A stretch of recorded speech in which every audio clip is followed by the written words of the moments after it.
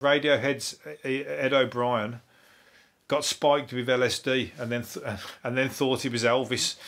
He said uh, he was at Reading Festival and he kept on looking in the mirror thinking he was Elvis Presley.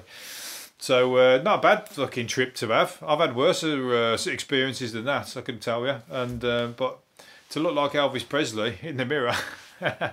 That's quite quite funny, isn't it? He's probably like, oh, was he playing? Because he's in Radiohead. Did he get up on the stage and just like deaf the whole set and just like boot the rest off the stage and just start going, you know, singing Heartbreak Hotel? That would have been funny as anything.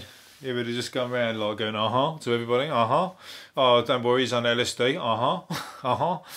Well, sounds like a really funny time anyway. So, uh, LSD's uh, um, not really spoke about these days, so uh, it's good to see that one in the paper again. We'd like to see more of those because there's never ever a dull story around LSD. I can tell you.